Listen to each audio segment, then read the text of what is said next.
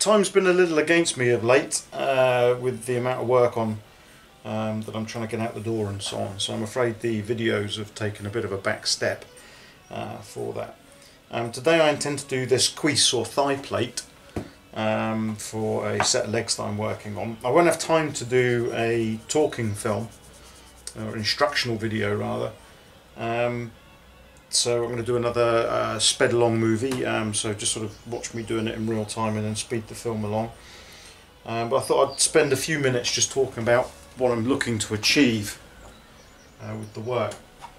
And you see a uh, thigh plate um, side on? They're not flat. Or very I, I, actually I don't think there is a single one that is a flat line. I shall exaggerate this a bit but what they tend to do is they come across to take in the belly of the muscle. Then they have a recess to take the operation of the lame properly. And then they kick out like a lame uh, at the bottom. And then the next lame would sit on top there as you go down into the poleyn. So what we've got to do is we've got to get that belly in, that dip in, and that little kick out into this plate. And the simplest way of doing that is to knock that shape in first gently. And this one down the bottom here for the lame which will cause that to move. And then when you do your movement you'll see me doing it in the video. When you do a lot of the movement you do it in this area. And what I mean by that movement is when you start to try and curve the plate round. Um, by doing that there then it'll recess that and you'll end up with that shape. Often a little over exaggerated um, obviously you have to check your period check which one you're making and um, see how much movement it has. Some of them it's very subtle and they almost look flat and if you take a close look you can see the armourer has put in that curvature. Um, these ones will be somewhere in the middle, not over exaggerated, not too small, you'll be able to see it. Um, I, I, just prefer that look and it fits well with a lot of the um, 14th century stuff that you see, uh, the later 14th century stuff where it's got a lot of human curvature to it. So that's what I'm going to go for and that's what I'm going to stick with.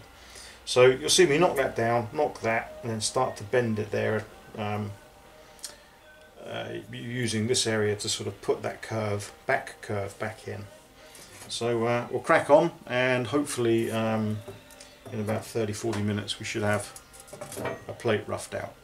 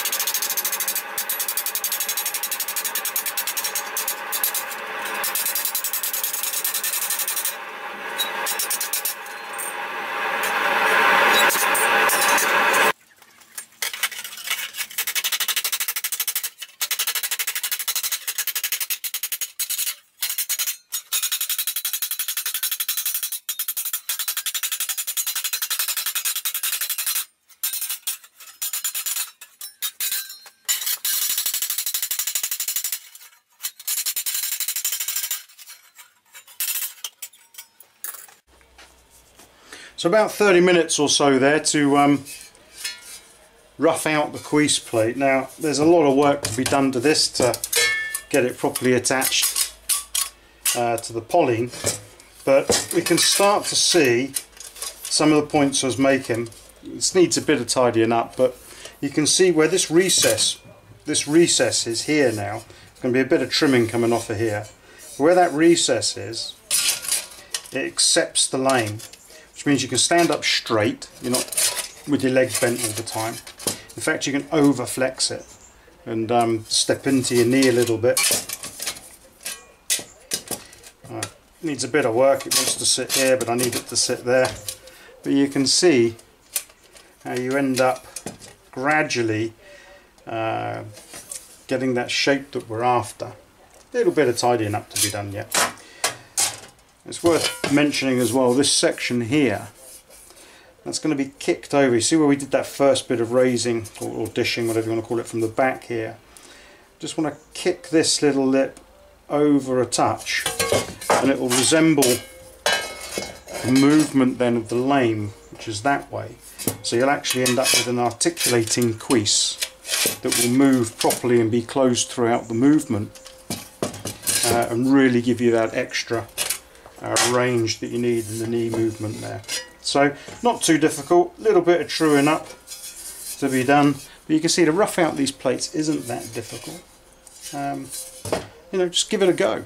Uh, it might take you a bit longer, you might kick it out of the park and get it right first time. It's um, not too hard to do. You can see how making one of these then adds some shape to your armour rather than these um, awful bent bits of tube um, of an armour shaped object and a bit of armour. But there we go, relatively straightforward and uh, I hope you enjoyed the video.